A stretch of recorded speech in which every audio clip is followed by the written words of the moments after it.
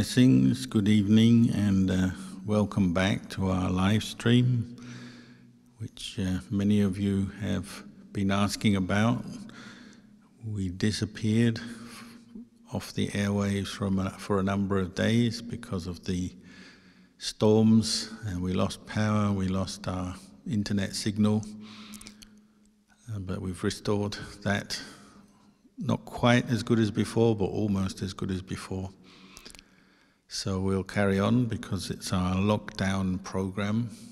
While people are unable to visit the monastery, then we try and give you some guidance, instruction, and encouragement in your practice, leading you in meditation, chanting.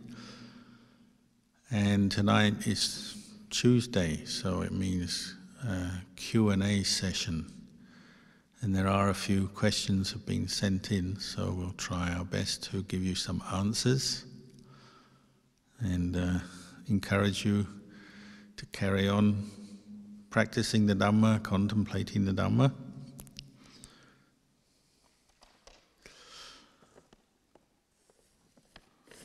So, um, first question Is emotion part of our kilesas? Thank you, Ajahn.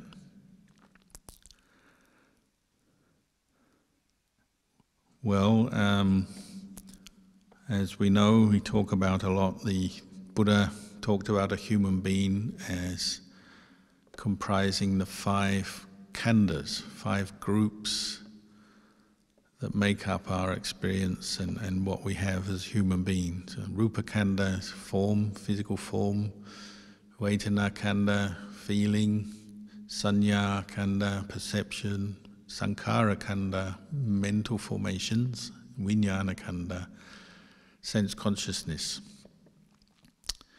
So the five khandhas are what we're working with, our raw material, and kilesas are mental defilements, mental afflictions, sometimes called negative emotions. Um, they come up within the khandhas. So within the sankhara khandha, the mental formations can be negative or coming from kilesa. Kilesa are all rooted in greed, anger, delusion, uh, but manifest in you know different ways. You can have different kinds of greed, attachment. Um, you can have uh, lust, say sexual desire, lust. You can have desire for sense pleasures, attachment to even just to subtle feelings of bliss, and so on. Uh, can come in in many forms, and anger can be very mild irritation, or it can be r- rage, you know, ready to murder someone or destroy something. And delusion can be just basic dullness, confusion, or can be very subtle delusion of self that attaches to even the most refined states of mind. So there's plenty of kilesas around, and they manifest uh, in the mental formations, but they're accompanied by, say, different uh, perceptions, triggered often by sense consciousness, may manifest in our body as well, physiologically. If, uh, the body can uh, reflect the state of mind and changes happen in the body. Hormones come out, chemical changes, muscles change according to your mental state, and so on. So, all the five khandhas are supportive of the mind of kilesa or the mind that is opposite of kilesa, that's the mind of the path, the Eightfold Noble Path, which is for abandoning kilesa.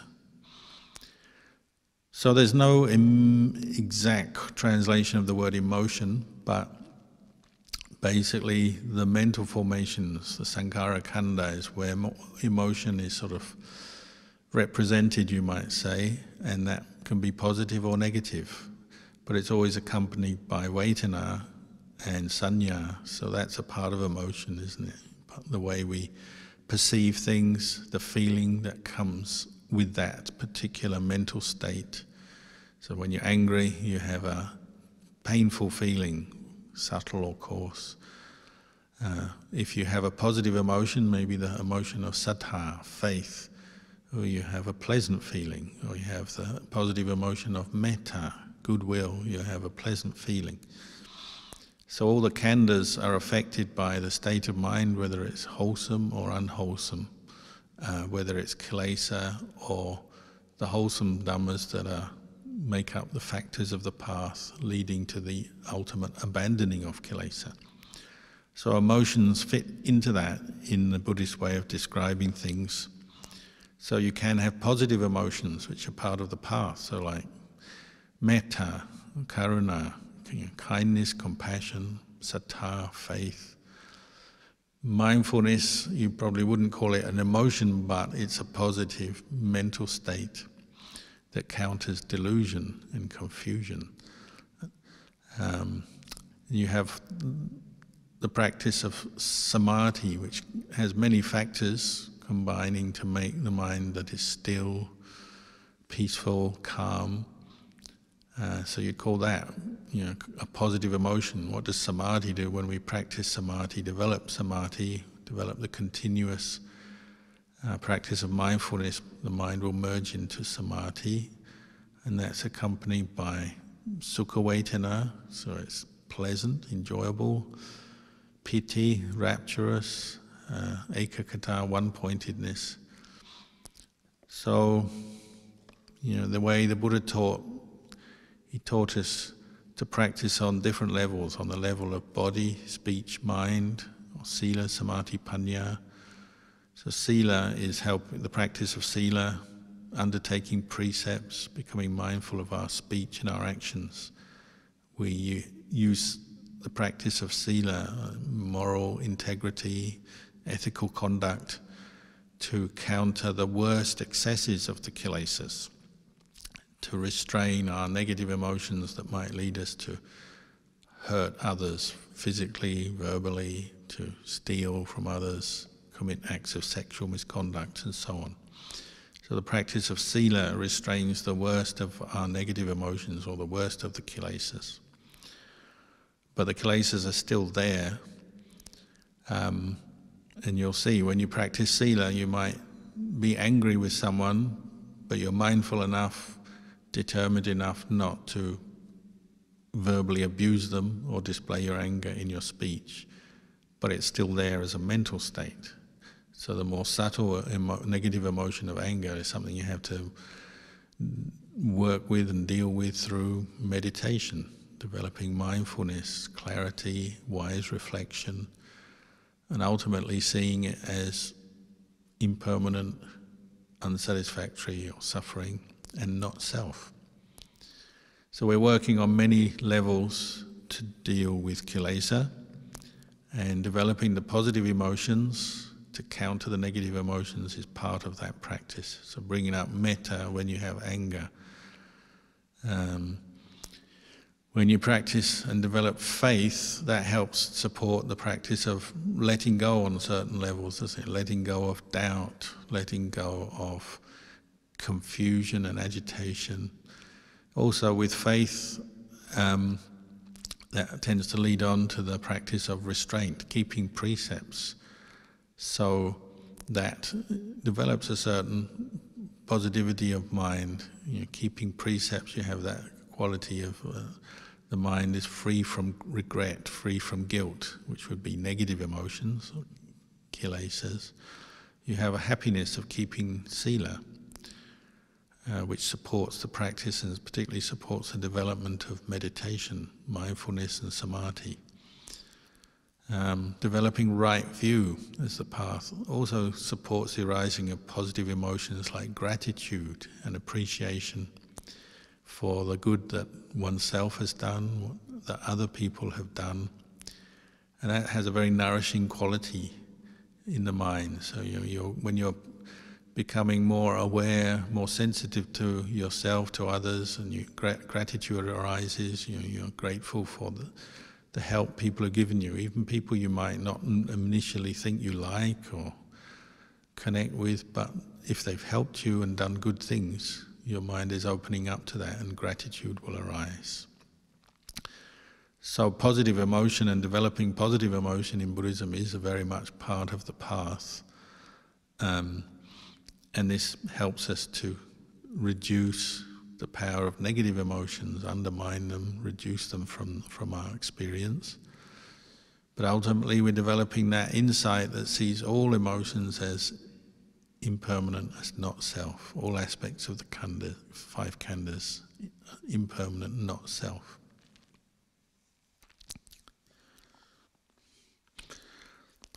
Dear Ajahn,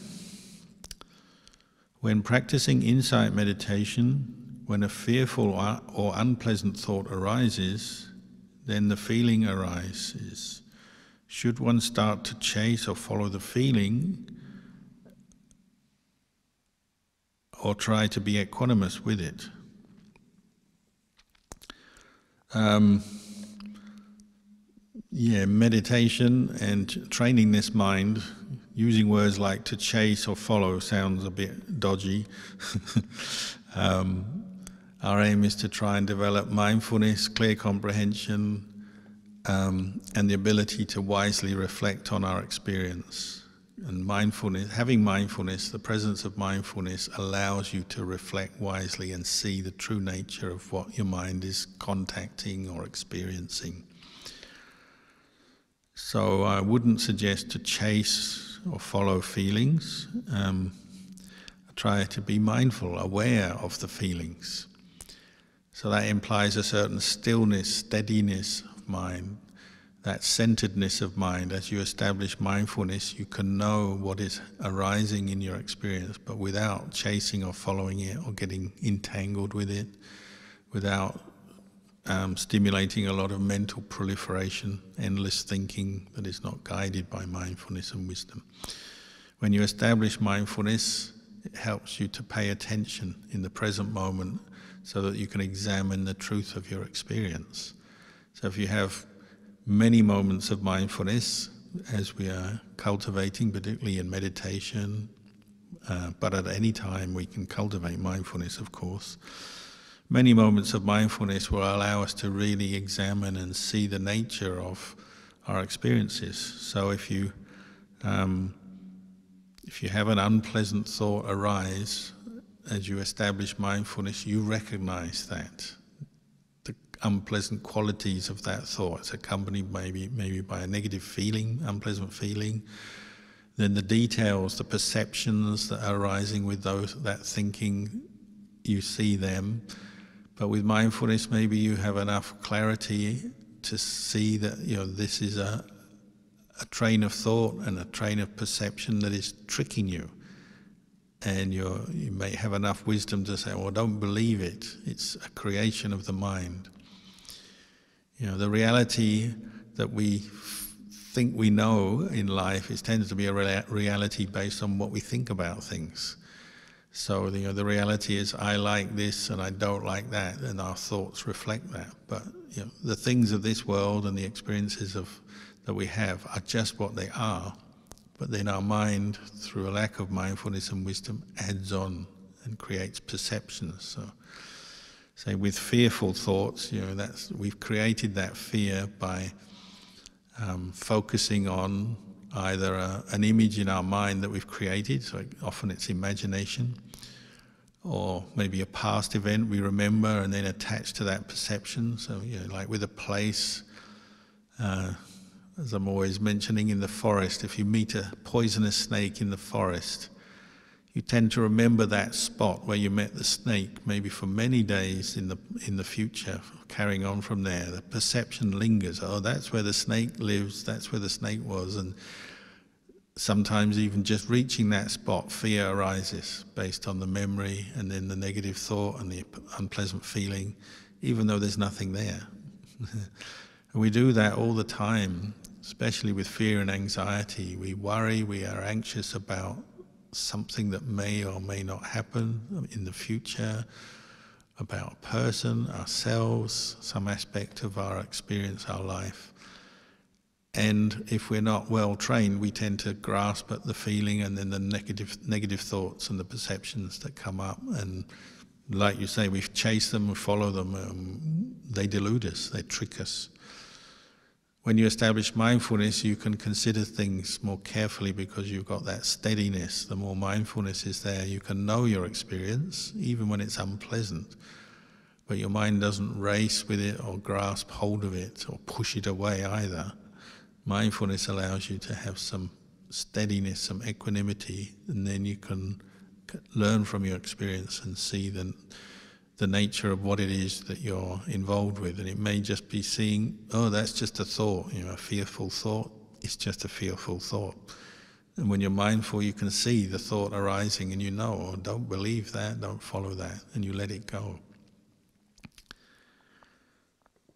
So, mindfulness and wisdom leads to equanimity, and this quality of upekkha. But, you know, how well we maintain our equanimity depends on the maturity of our practice, because of course there'll always be something that will knock you off, off balance, off center, a new experience that prompts or triggers anger or desire in one way or another, fear or doubt. Uh, so that's where we're practicing to improve our level of mindfulness and to reflect wisely and develop that ability to see the true nature of experience rather than let it push our mind around all the time. You know, getting caught into desire and grasping for things we want, things we like, becoming fearful or angry with things we don't like or don't want. You know, learning to establish mindfulness, it's a it's our whole practice, isn't it? And then reflecting on the Dhamma, reflecting on the truth, this will bring the mind to experience more equanimity.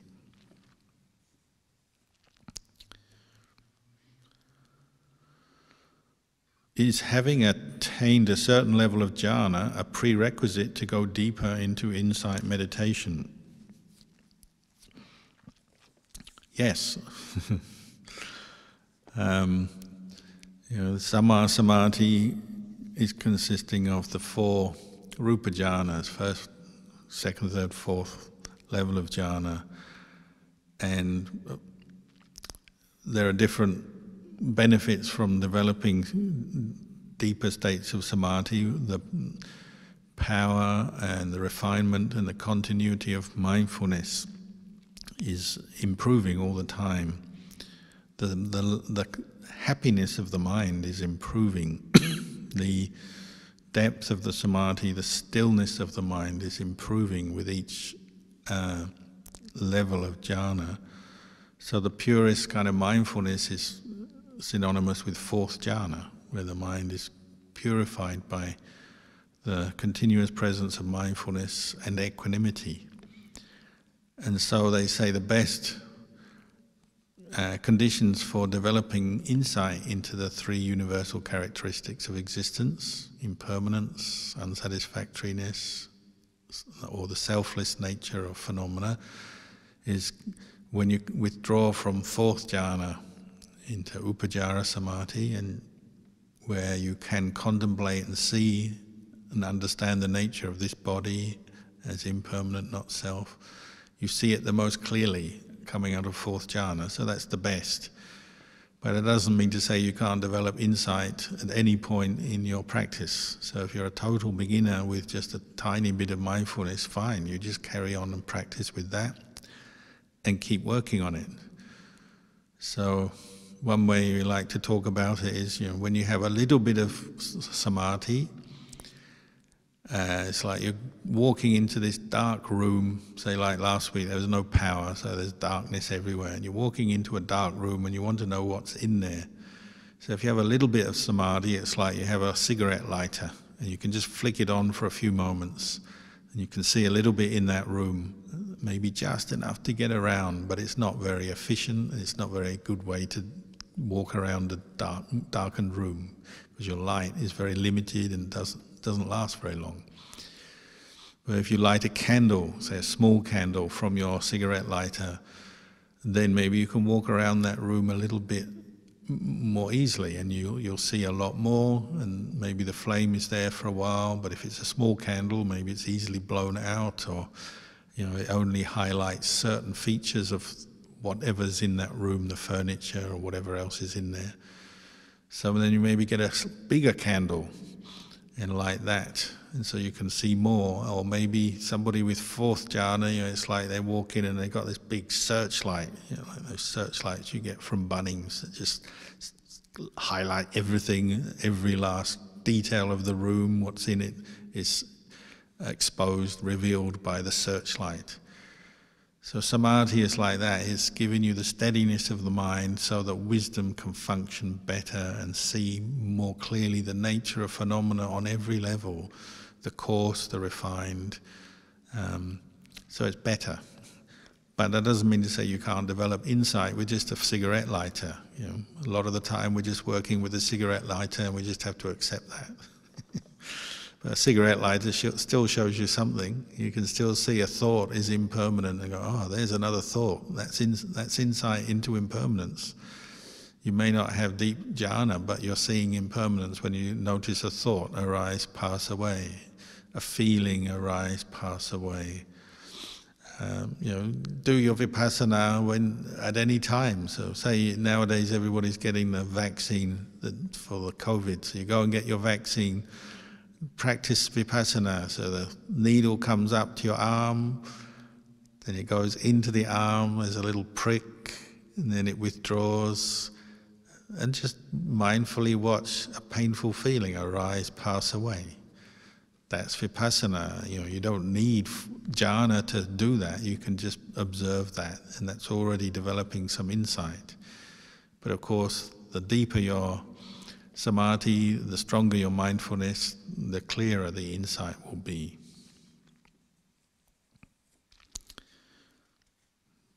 Dear Luang in the Majjhima Nikaya, chapter 123, the Sutra on the Wonderful and Marvelous, a section of paragraph 20 is quoted as follows. As soon as the Bodhisattva was born, he stood firmly with his feet on the ground. Then he took seven steps north, and with a wide, white parasol held over him, he surveyed each quarter and uttered the words of the leader of the herd I am the highest in the world, I am the best in the world. What is Luang Por's view over these, this statement? As during the the time our Lord Buddha had not yet attained enlightenment yet.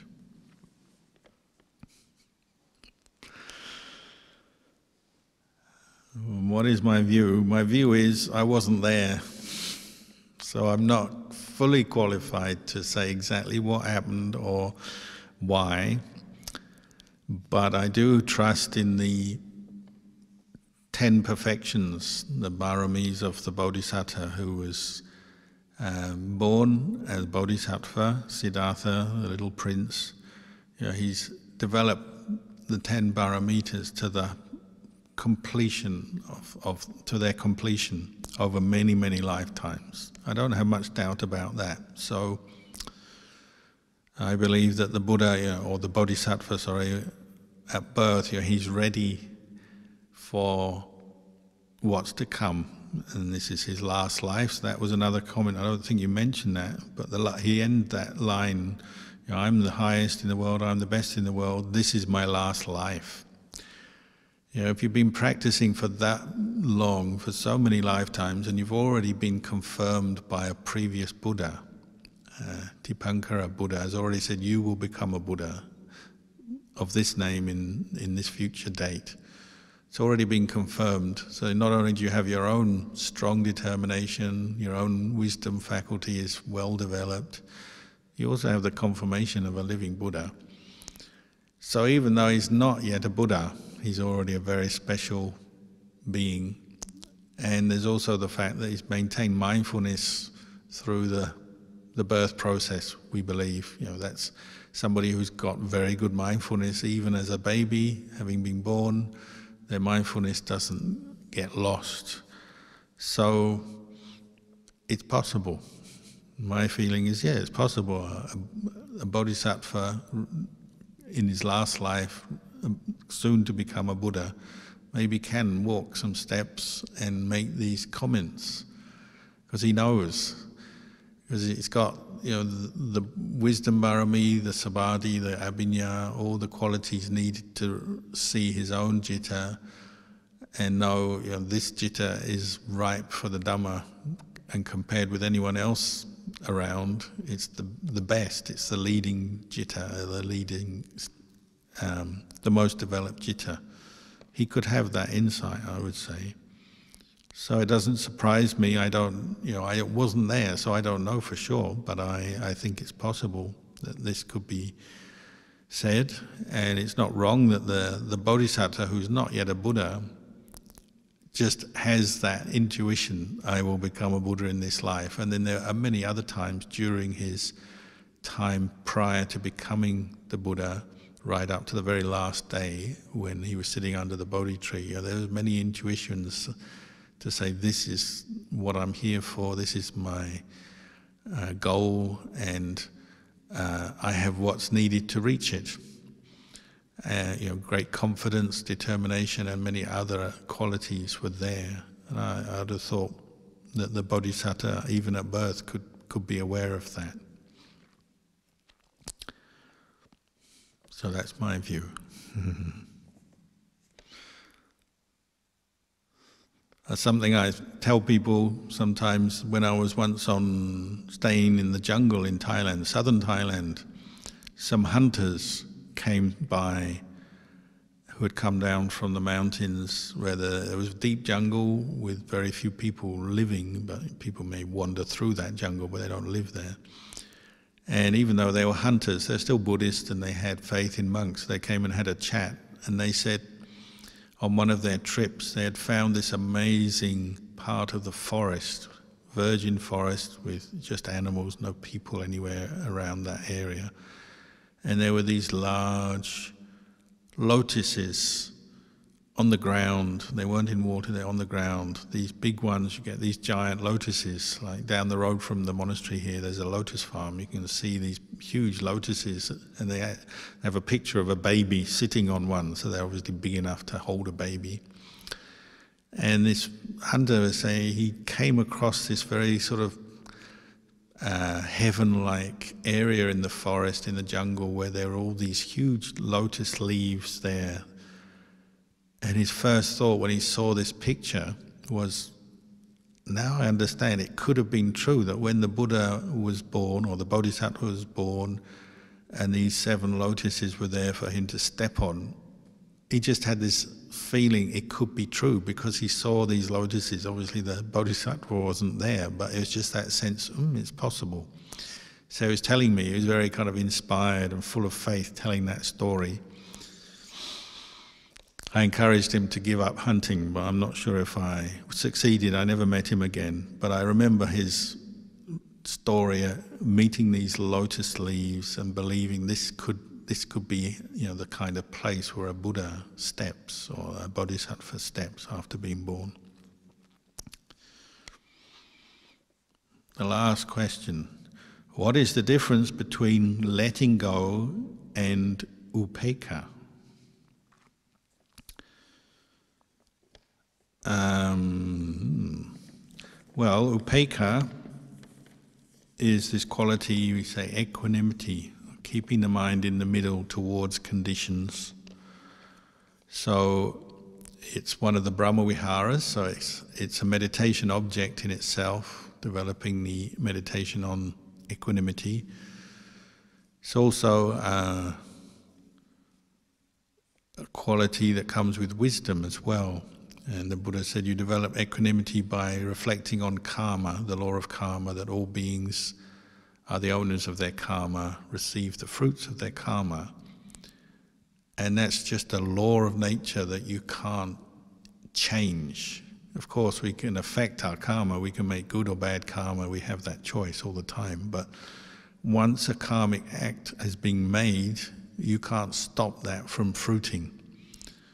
The only way you can stop karma from giving its fruit is by reaching nibbana, and then that's the end of the whole thing. But until that point, once a, a mental intention has come up, that already is mental karma, and if it's put into speech or action, then that's verbal or physical karma, and it will give its result. It's like planting a seed, and that seed will, when the conditions are right, will manifest. So developing that reflection that all beings are the owners of their karma brings equanimity because even if someone you love or are close to is suffering, you can't deny the fact that they're receiving the fruits of their karma, even if it's very unpleasant and it's not what you want. It's just the truth of the way things are. Good and bad karma gives its result. So uh, that's one way we develop equanimity, reflecting on uh, karma developing it as a mental state in samadhi.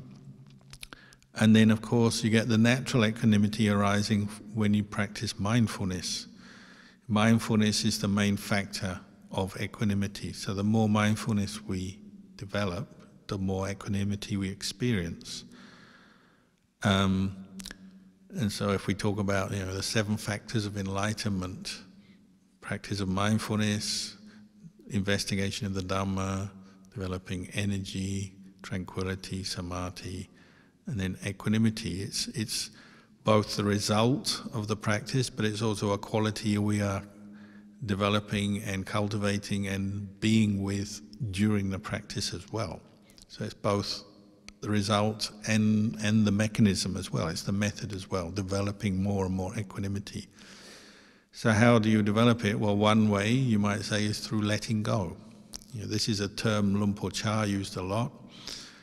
Um, it's a kind of catch-all for letting go. What does it mean? Well, it means letting go of the causes of suffering, you might say, letting things be, putting equanimity into practice. So rather than grasping at reacting to your experience, you're developing equanimity towards your experience.